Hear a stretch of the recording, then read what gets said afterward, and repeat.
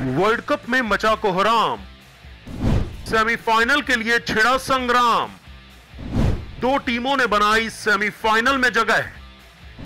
चार टीमें हुई वर्ल्ड कप से बाहर। अब चार चार टीमों में छिड़ी जंग।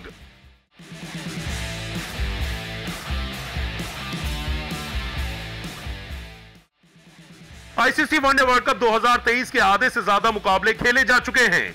जहाँ कुछ टीमें टूर्नामेंट से बाहर हो चुकी हैं तो वहीं कुछ टीमें सेमीफाइनल के टिकट के लिए मेहनत मशक्कत कर रही हैं।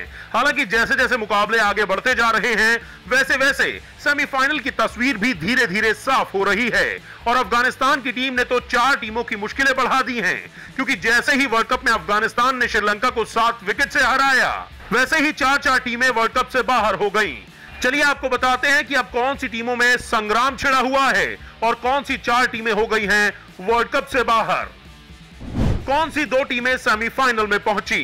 पॉइंट्स टेबल में इस समय टीम इंडिया टॉप पर है, क्योंकि भारत ने अपने छह के छह मुकाबले जीते हैं और भारतीय टीम इकलौती ऐसी टीम है जिसने इस वर्ल्ड कप में एक भी मैच नहीं गवाया है। टीम इंडिया ने छह के छह मुकाबलों में जीत हासिल करते हुए 12 अंकों के साथ सेमीफाइनल में लगभग लगभग अपनी जगह पक्की कर ली है। वहीं दूसरे नंबर पर दक्षिण अफ्रीका की टीम है। दक्षिण अफ्रीका ने इस वर्ल्ड कप में अभी तक एक ही मैच गंवाया है और ये टीम 10 अंकों के साथ दूसरे नंबर पर है। ऐसे में आप दक्षिण अफ्रीका को भी सेमीफाइनल का प्रबल दावेदार मान सकते हैं। लेकिन अब आपको बताते हैं उन चार टीमों के बारे में, जिनके बीच सेमीफाइनल में जगह बनाने के लिए जंग छिड़ी है। इन चार टीमों में छिड़ी लड़ाई तीसरे नंबर पर न्यूजीलैंड की टीम है और चौथे नंबर पर ऑस्ट्रेलिया है। इन दोनों टीमों ने अभी तक छह मुकाबले खेले हैं, जिसमें से चार मुकाबले जीते हैं और दो मुकाबले हारे हैं। लेकिन न्यूजीलैंड का नेट रन रेट ऑस्ट्रेलिया से बेहतर है। इसी वजह से इन दोनों टीमों में न्यूजीलैंड तीसरे नंबर पर है और ऑस्ट्रेलिया चौथे नंबर पर। लेकिन अब इन दोनों टीमों के बीच सेमीफाइनल में जगह बनाने की जंग छिड़ी हुई है। इन दोनों के अलावा अब अफ़गानिस्तान की टीम भी सेमीफाइनल के लिए अपनी दावेदारी पेश कर रही है, क्योंकि उसने श्रीलंका को हराकर पॉइंट्स टेबल को पूरी तरह से उथल पुथल कर दिया है। अफ़गानिस्तान ने श्रीलंका को हराया चार चार टीमों को बाहर का रास्ता दिखाया। श्रीलंका और अफ़गानिस्तान के बीच खेले गए मुकाबले में अफ़गानिस्तान की टीम ने सात विकेट से जीत दर्ज की।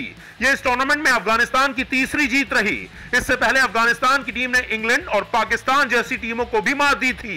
लेकिन अब अफ़गानिस्तान की टीम ने श्रीलंका को मात देकर इस वर्ल्ड कप की तीसरी जीत दर्ज की और इस वर्ल्ड कप से चार चार टीमों को बाहर का रास्ता दिखा दिया। जैसे ही अफ़गानिस्तान ने श्रीलंका को हराया तो इंग्लैंड, बांग्लादेश, नेदरलैंड और पाकिस्तान की टीमें वर्ल्ड कप से बाहर हो गई हैं। अब आप कहेंगे कि इंग्लैंड और बांग्लादेश तो ठीक है, क्योंकि इन्होंने छह में से सिर्फ़ एक ही मुकाबला जीता है। लेकिन पाकिस्तान और नेदरलैंड्स कैसे वर्ल्ड कप से बाहर हो गई? तो चलिए आपको इसके पीछे की वजह भी बता देते हैं। दरअसल अब पाकिस्तान की टीम को अपने तीन में से दो मुकाबले न्यूजीलैंड और इंग्लैंड जैसी टीमों के खिलाफ खेलने हैं। इसके अलावा पाकिस्तान की टीम को एक मुकाबला बांग्लादेश के खिलाफ खेलना है। ऐसे में पाकिस्तान की टीम जिस फॉर्म में है, उसे देखते हुए पाकिस्तान का न्यूजीलैंड और इंग्लैंड को हराना नामुमकिन लग रहा है। क्योंकि इस टूर्नामेंट में पाकिस्तान का प्रदर्शन काफ़ी ज़्यादा निराशाजनक रहा है। पाकिस्तान की टीम लगातार चार चार मुकाबले हार चुकी है। ना तो इस टूर्नामेंट में पाकिस्तान की फील्डिंग चल रही है, ना बल्लेबाजी, ना गेंदबाजी और ना ही बाबर आज़म की कप्तानी कोई काम आ रही है। इसी वजह से अब पाकिस्तान का न्यूजीलैंड और इंग्लैंड को हराना काफ़ी ज़्यादा मुश्किल दिखाई देता है। वहीं नेदरलैंड्स की टीम की बात करें तो नेदरलैंड्स की टीम को अपना आखिरी मुकाबला भारत के खिलाफ खेलना है। और टीम इंडिया जिस फॉर्म में चल रही है, ऐसे में नेदरलैंड्स का भारत को हरा पाना काफ़ी ज़्यादा मुश्किल लग रहा है। ऐसे में अब अफ़गानिस्तान और श्रीलंका के बीच में भी सेमीफाइनल की रेस बनी हुई है। अब देखना दिलचस्प होगा कि आखिर में कौन सी चार टीमें सेमीफाइनल के लिए क्वालिफाई करेंगी? वैसे दोस्तों, आपको क्या लगता है, इस बार वर्ल्ड कप में कौन सी चार टीमें होंगी जिन्हें सेमीफाइनल का टिकट हासिल होगा? आप अपनी राय हमें कमेंट कर कर ज़रूर बताएँ। और दोस्तों, अगर आपको हमारा ये वीडियो पसंद आया है तो हमारे चैनल को सब्सक्राइब करना ना भूलें। इसके साथ ही साथ ताज़ा तरीन खबरों के लिए हमारे फेसबुक पेज को भी लाइक कर लीजिए। और इस वीडियो को अपने दोस्तों के साथ शेयर करना बिल्कुल मत भूलिएगा।